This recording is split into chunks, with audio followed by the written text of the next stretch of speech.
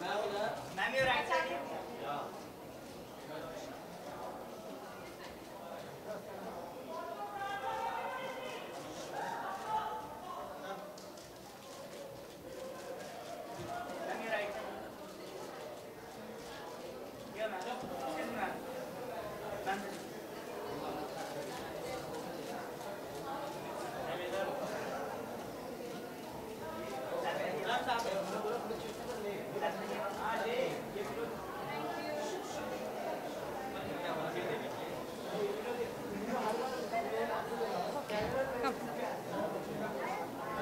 hi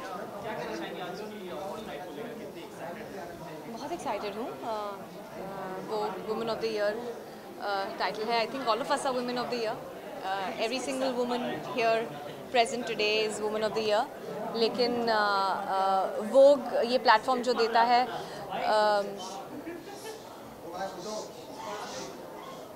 truly deserving और inspiring और motivating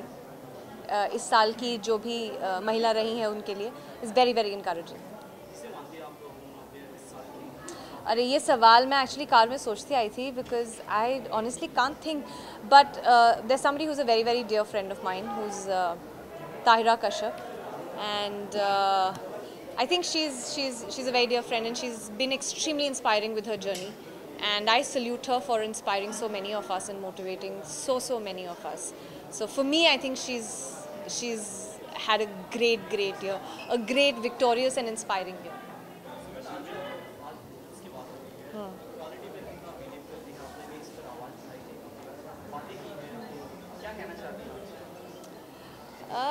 Equality पर एक्चुअली कुछ कहने के लिए है नहीं the fact that I am we are discussing equality इसका मतलब ये है कि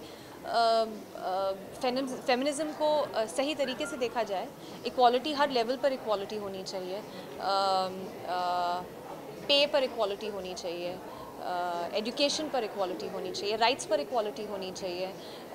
अपॉर्चुनिटीज़ वर्क अपॉर्चुनिटीज़ पर इक्वालिटी होनी चाहिए। तो I think it's very very important for any society and for any culture और आज जिस तरीके से हमारा देश आगे बढ़ रहा है and you know global map पर आ रहा है हर एक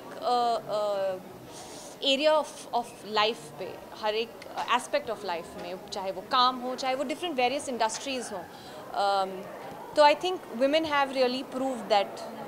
they can bring the country also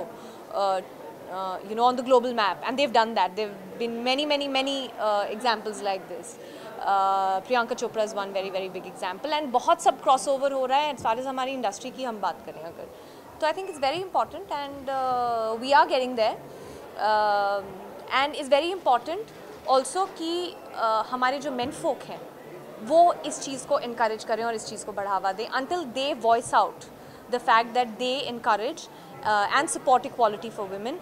things will not change so that is very very important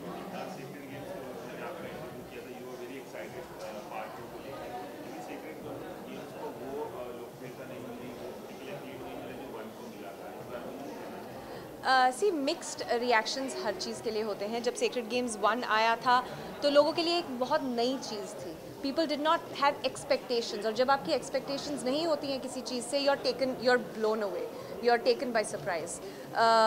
हमेशा एक फ्रेंचाइज होता है और फ्रेंचाइज uh, में पार्ट टू सेम डायरेक्शन में जाएगा तो वो आपकी एक्सपेक्टेशंस को मीट करेगा जो आपने सीज़न वन में देखा ज़रूरी नहीं है सीज़न टू में आपको सेम चीज़ देखने को मिले तो I think I I I really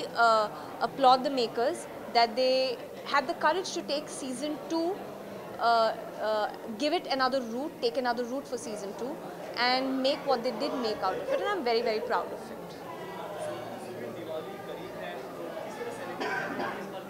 Party, party, party. it's also my daughter's first uh, Diwali. She's just turned six months. So uh, it's very exciting. हम लोग uh, बहुत दिवाली पार्टीज़ अटेंड कर रहे हैं कर रहे हैं खुद की भी कर रहे हैं और आप सब प्लीज़ इनवाइटेड हैं मेरी दिवाली पार्टी पे थैंक यू थैंक यू